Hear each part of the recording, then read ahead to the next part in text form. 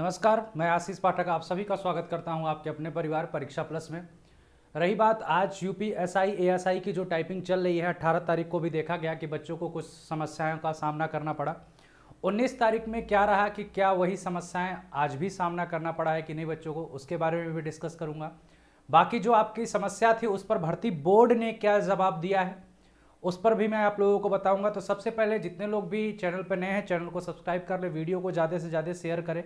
ताकि जिसके साथ भी ये समस्या है, उसको ये पता चल पाए कि इसका समाधान क्या है, कैसे इससे हम लोग जो है निजात पा सकते हैं।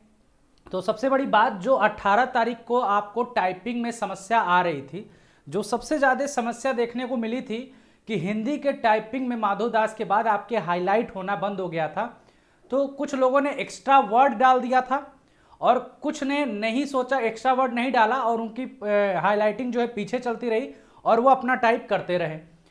कंटेंट जब टाइप होके निकला तो आपका सही निकला और जो लोग एक्स्ट्रा वर्ड डाले थे उनका एक्स्ट्रा वर्ड के साथ निकला। तो जो लोग एक्स्ट्रा वर्ड डाले थे, उनका एक एरर काउंट होगा, बस और कुछ नहीं होगा।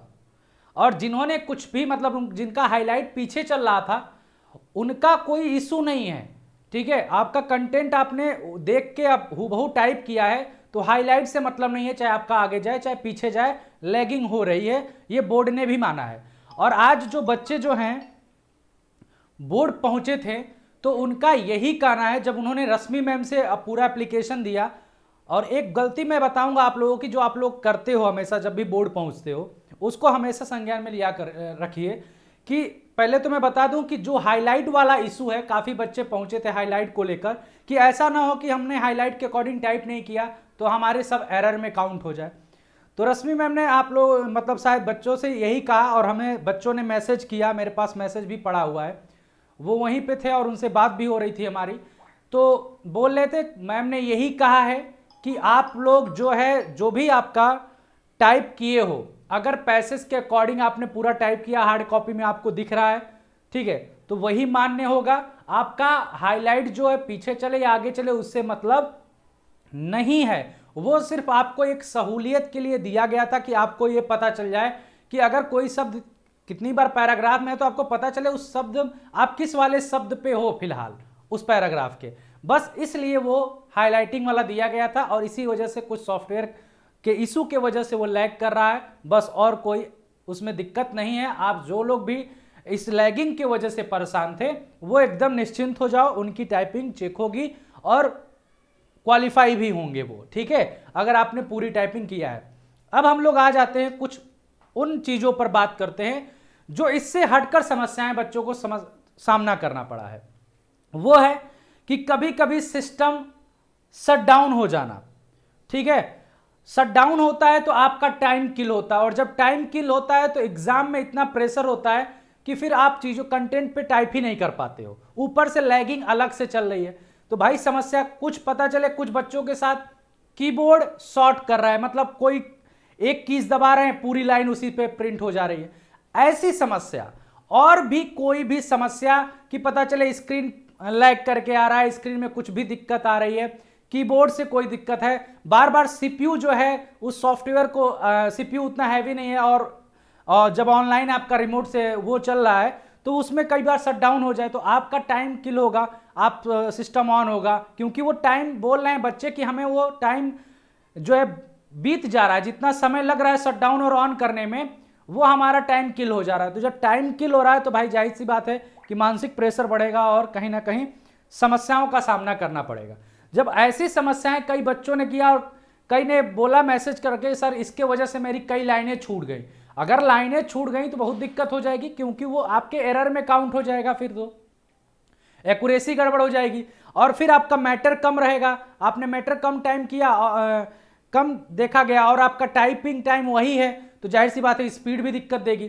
तो इस वजह से ऐसी जो समस्याएँ हैं चाहे कोई भी समस्याएँ आपके सामने आई हैं चाहे वो कीबोर्ड से लेकर चाहे शटडाउन से लेकर और भी कोई इश्यूज़ हैं आपके सामने किसी में इंटर दबाने मतलब इंटर तो काम कर नहीं रहा लेकिन उसका पैराग्राफ बोल रहा था कि मेरा स्पेस के बाद पैराग्राफ उसमें शो कर रहा था जो आपका मिला था कंटेंट वाला, ठीक है, जो आपको प्रिंट आउट मिलता है। तो ऐसी कोई समस्या आपको अगर सामना करना पड़ा है तो आप भर्ती बोर्ड को एक बार सूचित करो उस सेंटर के बारे में। और सूचित ऐसे मत करो यार। तुम लोग क्या है, मैंने आज जब फ़ोन किया बच्चों पे, एक एक गर्ल्स कैंडिडेट से मेरी बात हो रही थी, मैंने कहा कि ऐसे आप लोग इंडिविजुअल इंडिविजुअल आप लोग अपना अपना ज्ञापन दियो, अपनी अपनी शिकायत दियो, ठीक है, दियो। लेकिन आपको यह करना चाहिए था कि जिसके पास जिस, जो भी एक समस्या से जूझ रहे हैं, चाहे किसी भी समस्या से आप जूझ रहे हो, आप सीधे एक फॉर्मेट बनाओ ज्ञापन का, उस पर पूरा लिखने के बाद बताओ कि हम लोग ए टाइपिंग कैंडिडेट हैं और हमें इन इन समस्याओं का, एक तरफ़ समस्या लिख दो कि ये ये समस्याओं का हमें सामना करना पड़ रहा है। इन इन इंस्टीट्यूट में ऐसा ऐसा हुआ है, उसके बाद से आप एक ही पे ही आप कम से कम पचास सौ लोगों स्टूडेंट का हस्ताक्षर करा लो।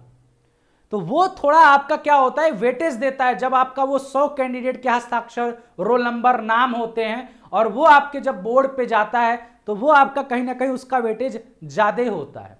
इस बात को हमेशा ध्यान रखिएगा, जो भी बोर्ड जा रहे हो, सिर्फ़ अपने प्रॉब्लम को मत शेयर करो। आप उसमें प्रॉब्लम लिख दो कि ऐसी ऐसी प्रॉब्लम है और उन कैंडिडेटों को जितना भी आपके सामने दिख रहे हैं, चालीस, पचास, साठ, सत्तर, उन सभी को एक साथ करके उनका जो है, साइन करा लो।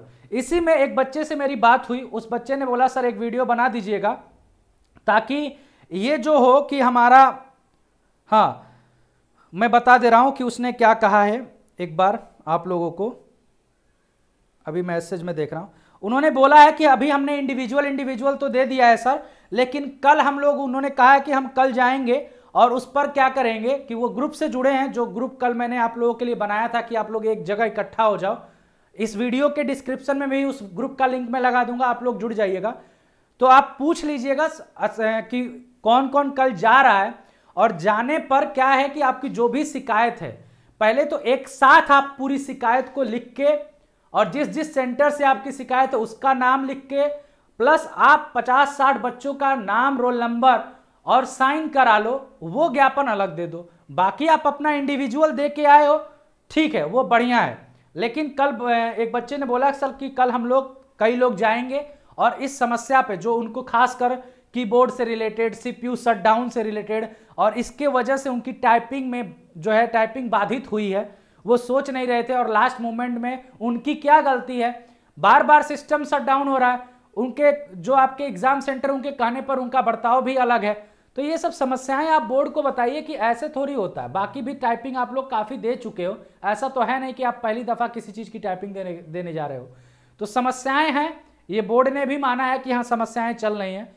तो उनको आप समस्याओं से वापिस कराइए और ज़्यादा से ज़्यादा संख्या बल बोर्ड पहुंचिए। तभी आपको पता चल, तभी आपकी जो समस्या है, चाहे वो कीबोर्ड से रिलेटेड हो, चाहे सीपीयू शट डाउन से हो, चाहे कोई भी हाईलाइट वाली समस्या उतनी समस्या नहीं है। या आपने कोई एक्स्ट्रा वर्ड डाल दिया, वो कोई ऐसी समस्या नहीं है। वो आपकी एक एरर काउंट होगी, बस। लेकिन जो समस्या रियल में है कि शट डाउन हो जाना हैंग करना सिस्टम को, आगे नहीं बढ़ना, हम टाइप कर रहे हैं, वो आगे बढ़ ही नहीं रहा है। और कभी जब हो रहा है तो पूरा पूरा लाइन ही टाइप हो जा रहा है मतलब कुछ भी टाइप हो जा रहा है। ऐसे बोल रहे बच्चे कि हम टाइप कुछ और कर रहे हैं टाइप कुछ और हो रहा है। तो ये जो समस्या है, ये आप सेंटर वाइज समस्या बताइए और ग्रुप में जाइए भाई। मैं फिर से भी बोल रहा हूँ कि ये लड़ाई आपकी है। आप लोग इकट्ठा होकर और आप ही स्टूडेंट हो, आप लोग एक साथ, अपने का साथ नहीं दोगे तो किसका दोगे? तो एक साथ हो ये एक साथ होने के लिए मैंने आपका ग्रुप बनाया है।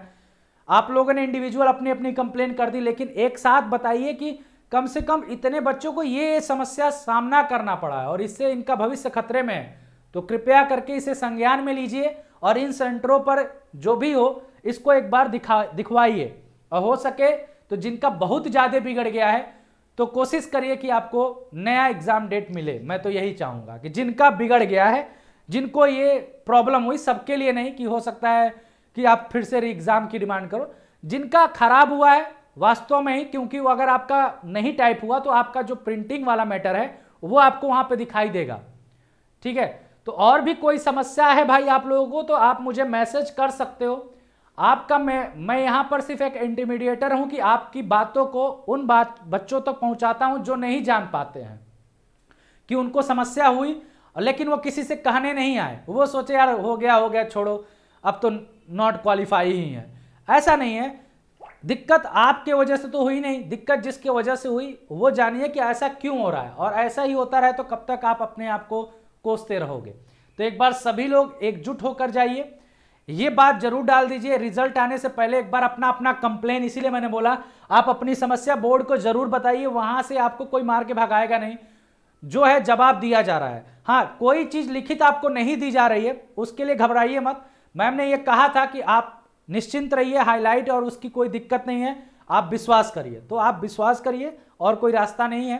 अगर कुछ ऐसा हो जाता है कि रिज़ल्ट में दिक्कत आती है तो फिर हम लोग एक साथ हो जाएँगे और फिर हम एक डेट फिक्स करके आपके साथ चलेंगे, ठीक है, उस चीज़ को लेकर। लेकिन अभी कोशिश करिए कि आप अपनी अपनी समस्या बोर्ड तक रखिए, ज़रूर रखिए, ठीक है, जिसको भी हाईलाइट और उससे रिलेटेड अलग कोई प्रॉब्लम है, जो सिस्टम आपका हैंग करना, शटडाउन होना, कीबोर्ड का रिलेटेड इशू, इन सब चीज़ों की समस्याएँ जो है, बोर्ड के सामने ज़रूर बताइए, उस इंस्टीट्यूट से रिलेटेड। चलिए, अगर कोई दिक्कत और समस्या आपको सामना करना पड़ रहा है तो आप वीडियो के कमेंट में ज़रूर डालिएगा और ग्रुप ज़रूर ज्वाइन कर लीजिए जहाँ बच्चे एक्टिवेट हैं अपने में बातें कर रहे हैं, आप भी अपनी बातें शेयर कर सकते हैं। और कोई समस्या होती है जो आपसे नहीं हैंडल हो पाती तो आप मुझसे फ़ोन से कांटेक्ट कर सकते हैं। तो चलिए, इसी के साथ मैं आप सभी से विदा लेता हूँ। ठीक है, धन्यवाद।